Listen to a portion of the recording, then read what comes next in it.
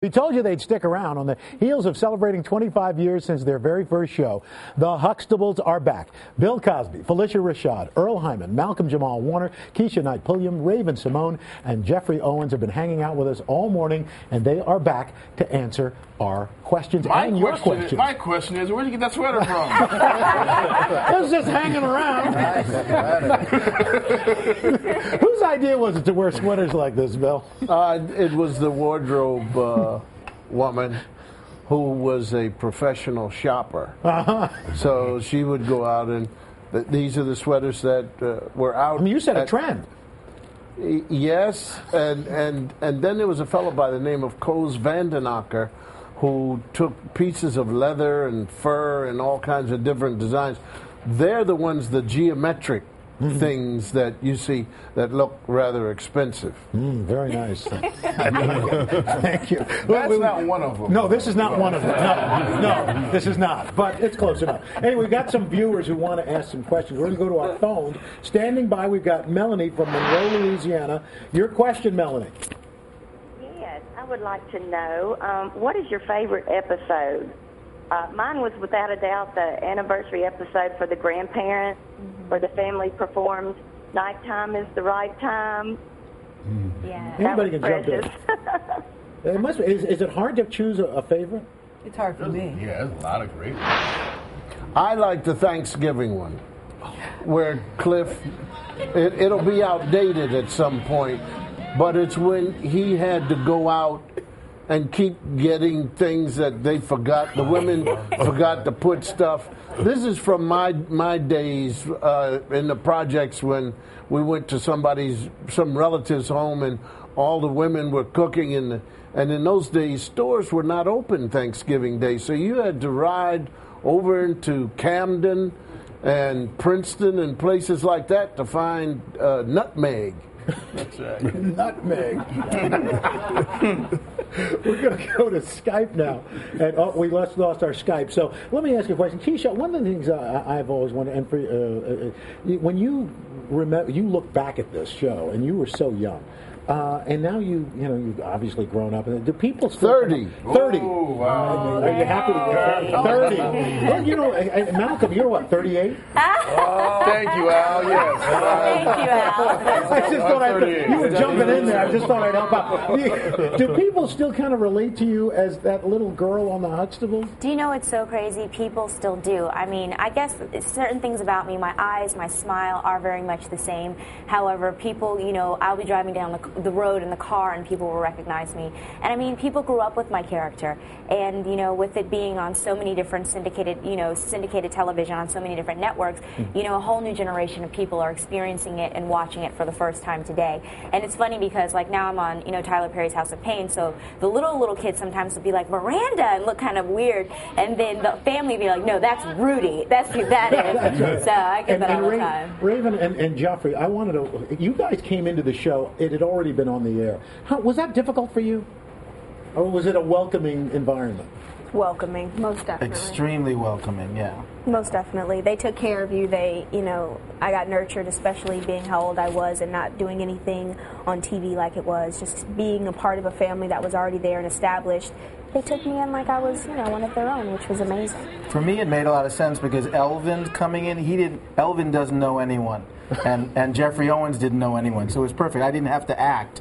I just, you know, it, I was clueless, like like my character. but, it- but it- it's interesting because earlier, earlier when Matt asked us about you know who was intimidated by by Mr. Cosby, for me, knowing that you know Jeff had done all this Shakespeare, knowing that Sabrina came from you know, Yale Drama School and and- UCLA. and so I was, you know, for me it was kind of it was kind of intimidating because it was mm-hmm. like, okay, we've got you know here are these these guys who are like they're like they're like real accomplished theater actors, and it it, it, it definitely kind of put me on point and made me.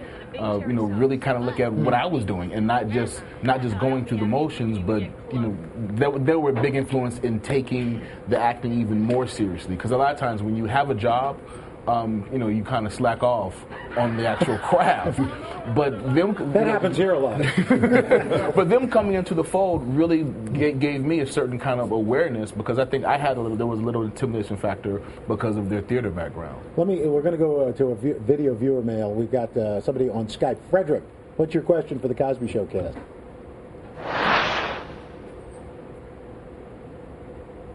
Works just like Yeah, the telephone. it's magic, isn't it? I'm sorry. This, this new technology is uh-huh. just fantastic. My man Frederick. Thank you, Frederick. Well, I, I think that first time Frederick, caller. I think Frederick is absolutely correct.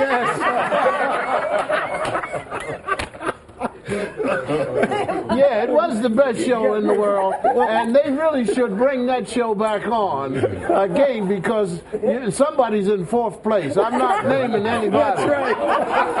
oh, yeah. let me ask you a question. Would Yes, you would you do a reunion show? Would you? No. no, No, no, no, because they want to do a whole bunch of. But what if they said, Bill, whatever you want You're want to getting loud now. I know. Yeah, because you're going back outside with that sweater on, and your wife is going to call you.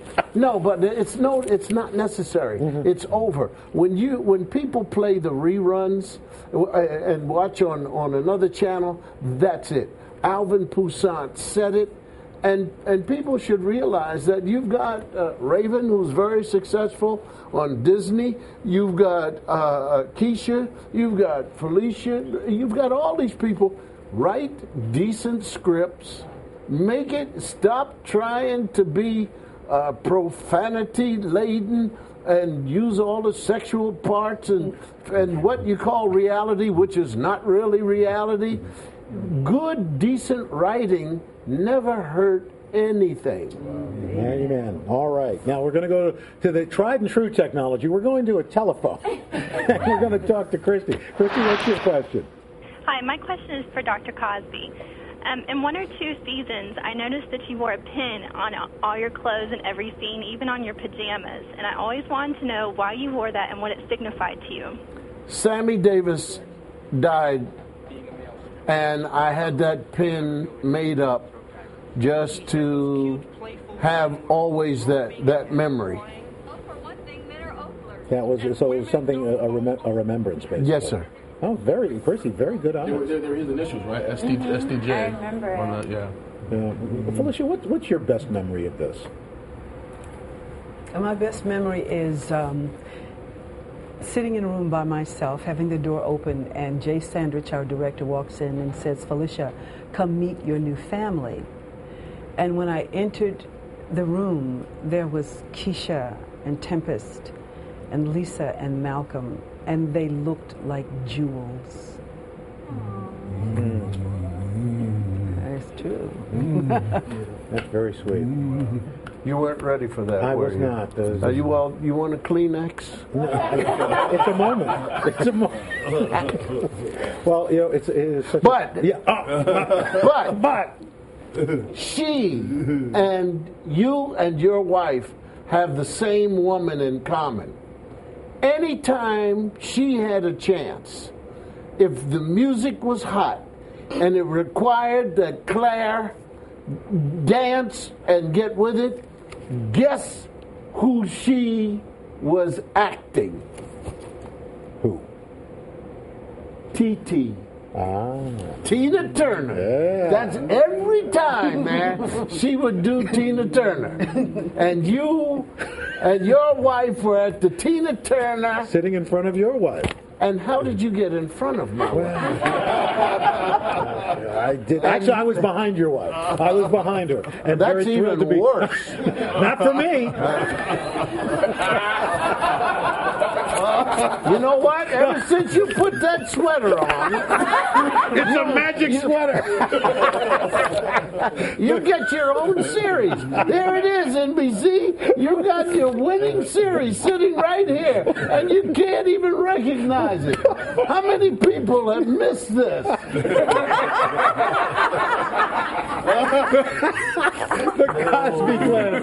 Mr. Bill Cosby, Phylicia Rashad, Earle Hyman, Malcolm Jamal Warner, Keshia Knight Pulliam, Raven-Symoné, and Geoffrey Owens. Thank you so very much. This is such a pleasure. Our next person interviewing us will be And a guess- Latino.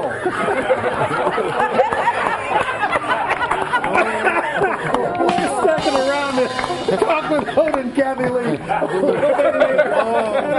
The 25th anniversary DVD collection of the Cosby Show's greatest moments available in stores. Coming up next, the five real estate markets that are on the verge of a rebound. And what's